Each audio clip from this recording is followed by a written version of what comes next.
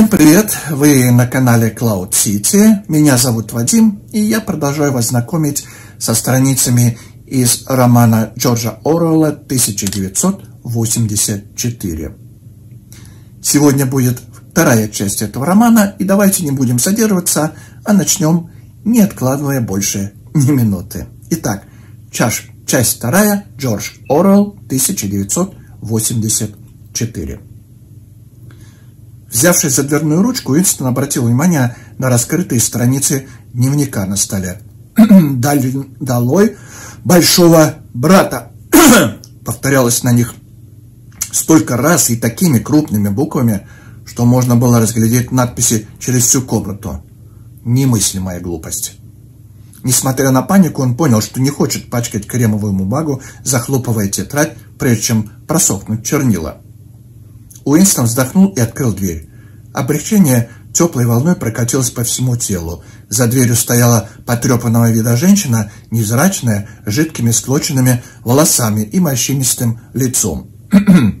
«Ох, товарищ!» — затянула она тоскливым голосом. «Я... я услыхала, вы вроде дома.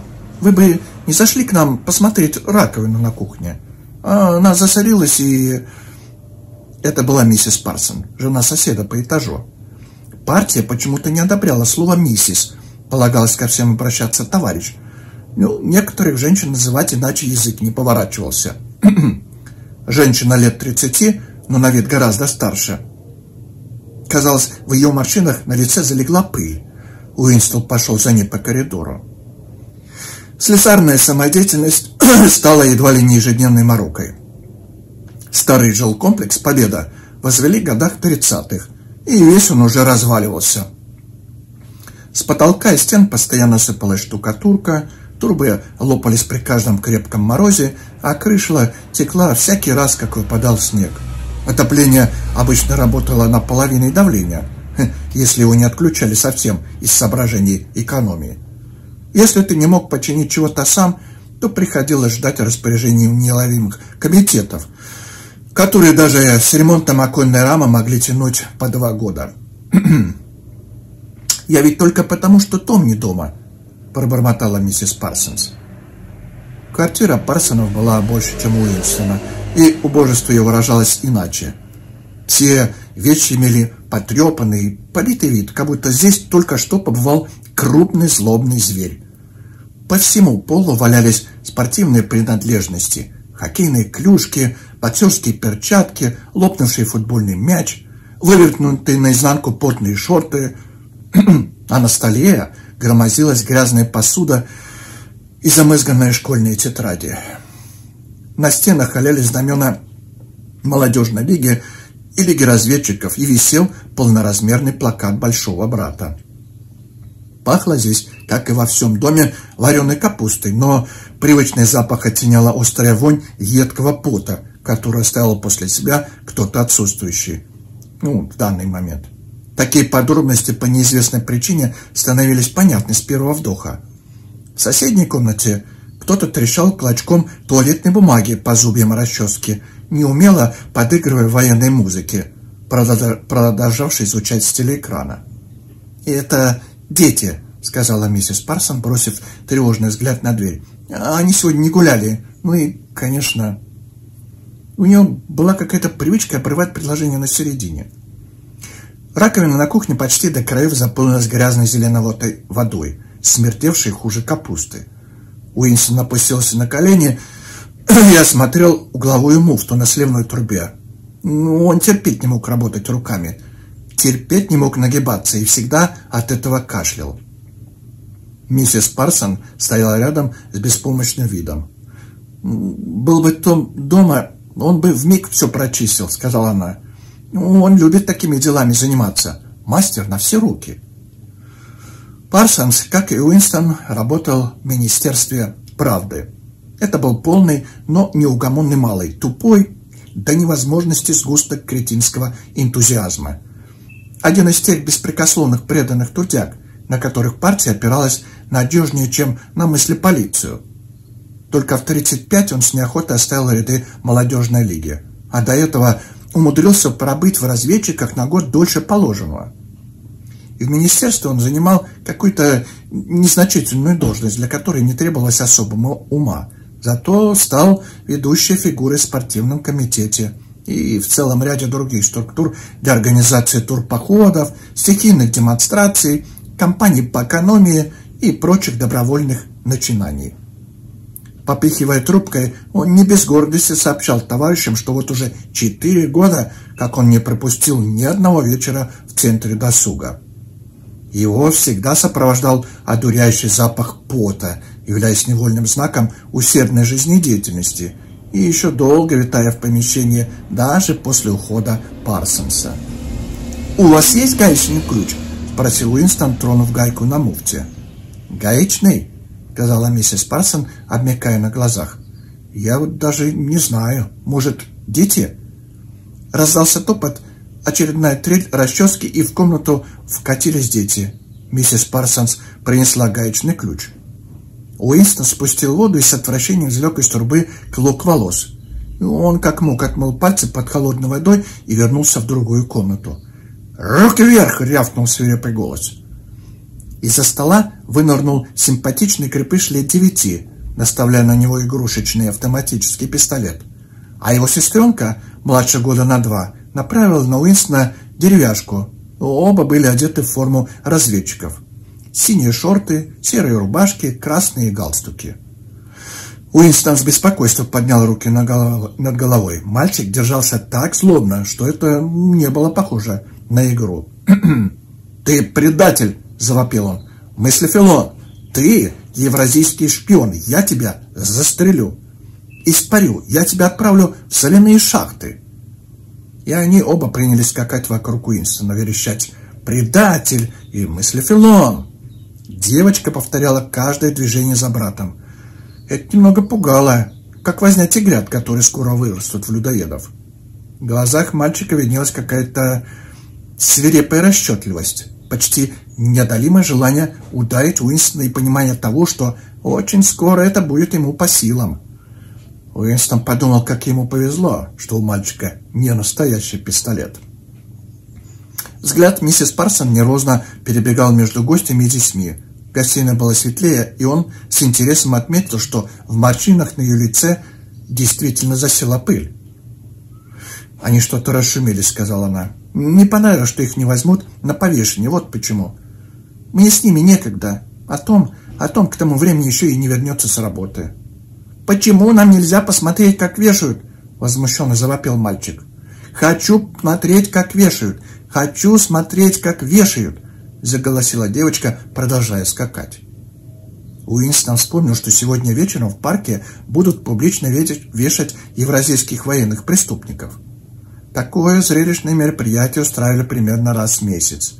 Дети вечно просились со взрослыми – он вышел от миссис Парсон и направился к себе, но не прошел по коридору и шести шагов, как что-то больно ужало его сзади в шею, словно воткнули обрывок раскаленной проволоки. Уинстон резко обернулся и увидел, как миссис Парсонс затаскивает в дверь сына, прячущего в карман рогатку. «Голштейн!» – заорал мальчик, исчезая за дверью. Больше всего Уинстона изумило выражение беспомощного страха на сером лице матери.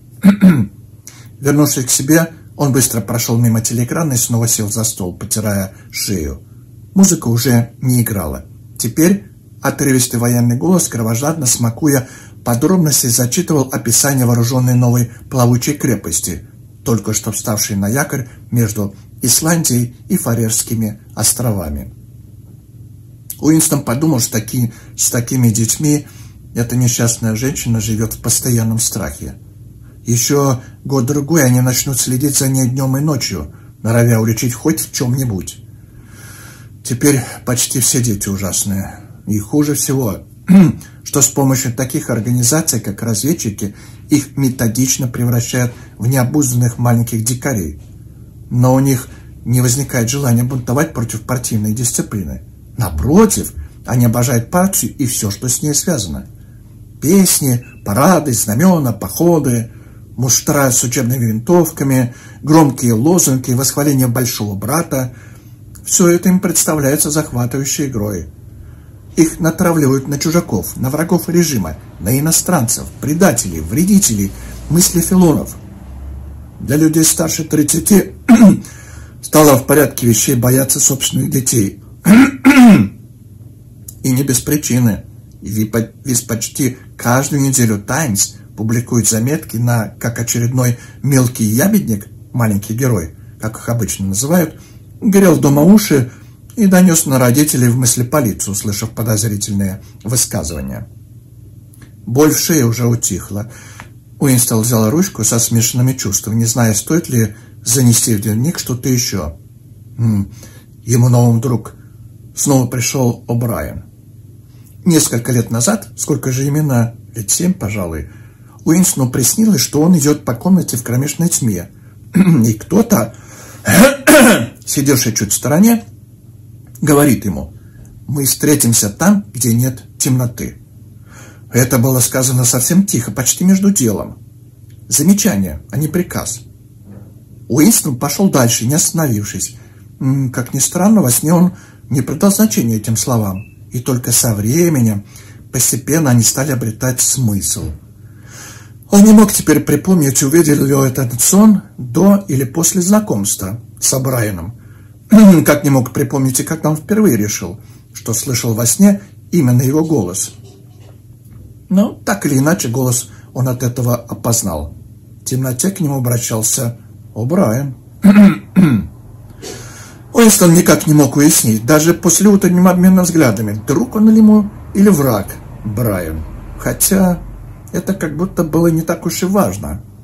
Между ними промелькнуло понимание, значившее больше, чем взаимное расположение или заговорщический дух. «Мы встретимся там, где нет темноты», — так он сказал. Уинстон не понимал, что это значит. Знал только, что слова из сна так или иначе сбудутся. Голос телекрана прервался. В душном воздухе комнаты раздался звук фанфар, чистый и прекрасный. Голос проговорил со скрежетом — «Внимание! Прошу внимание!» Только что поступила сводка молния с Малабарского фронта. Наши войска в Южной Индии одержали блестящую победу. И я уполномочен заявить, что настоящее событие вполне может приблизить завершение войны в обозримом будущем. Передаю сводку новостей. Уинстон подумал, что надо ждать плохих новостей. И действительно, за кровавым описанием раз, разгрома евразийской армии с колоссальными цифрами убитых и взятых в плен последовало объявление, что со следующей недели норма шоколадного рациона сокращается с 30 граммов до 20. Уинстон снова рыгнул. Джин почти выветрился, оставляя после себя чувство подавленности. Телеэкран разразился песней «Во славу твою, океане» то ли в честь победы, то ли чтобы отвлечь людей от сокращения шоколадного пайка, полагалось стать по стойке смирно, но Уинсон находился вне зоны видимости телеэкрана. «Во славу твою, Одиссея!» Смилась легкой музыкой. Уинстон подошел к окну, держась спиной к телеэкрану.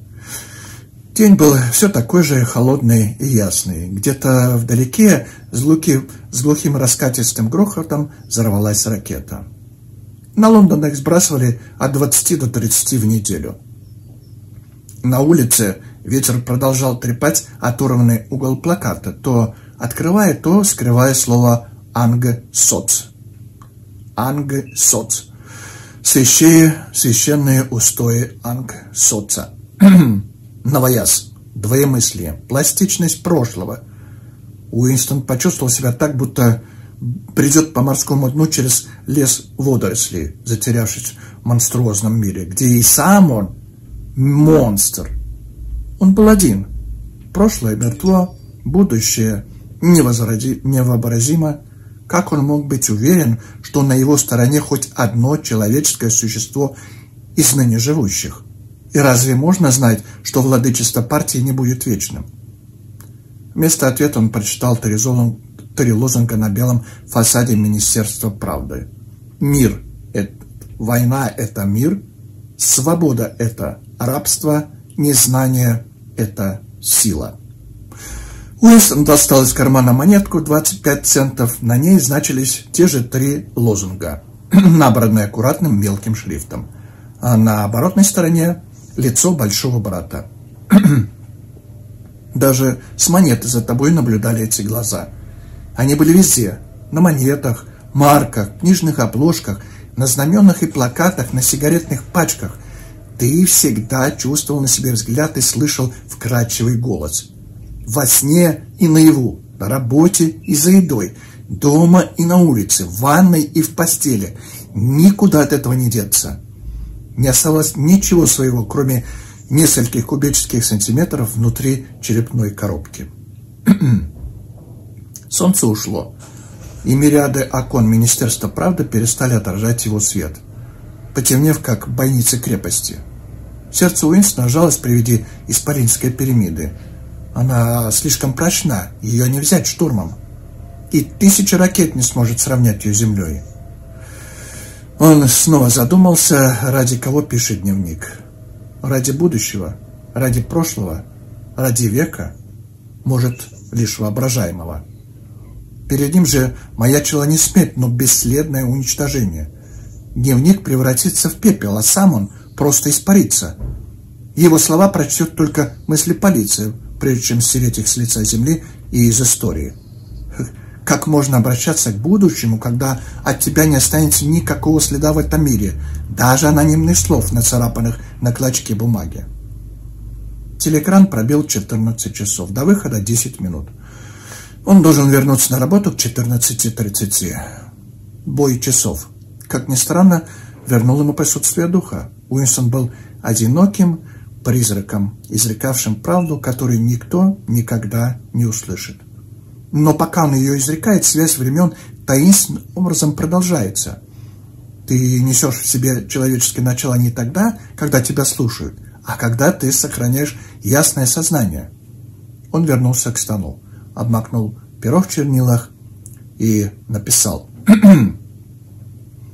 «Будущему или прошлому времени, когда мысль свободна, когда люди отличаются друг от друга и не живут в одиночку, времени, когда существует правда, и что сделано, то сделано. Из века одинаковых, из века одиночек, из века большого брата, из века двоемыслия. Приветствую тебя. Он подумал, что уже мертв. Ему показалось, что только сейчас, когда он обрел способность формулировать мысли, он пересек черту. Последствия любого действия заключены в самом этом действии.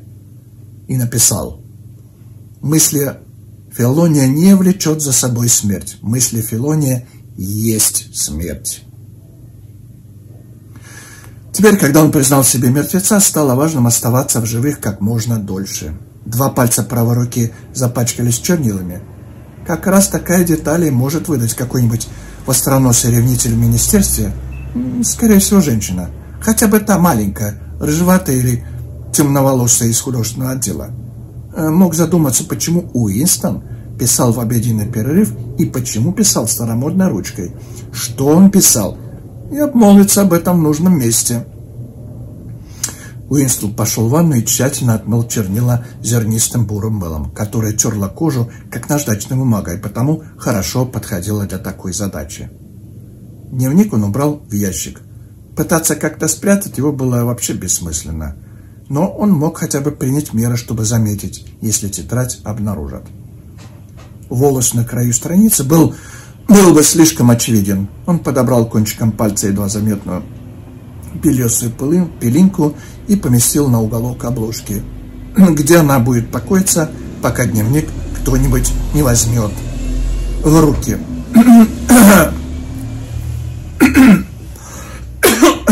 Простите. Ну вот, это была вторая часть романа Джорджа Орелла 1984. Вы были на канале Cloud City. С вами был я, Вадим. Кто еще не подписался, подписывайтесь. Жмите на колокольчик, чтобы быть в курсе всех событий. Ну, пишите комментарии, что вы думаете по поводу. Это далеко уже не нового романа, но, как мне кажется, и на сегодня современного. А я с вами прощаюсь. С вами был я, Вадим, и вы были на канале Cloud City. Всем пока!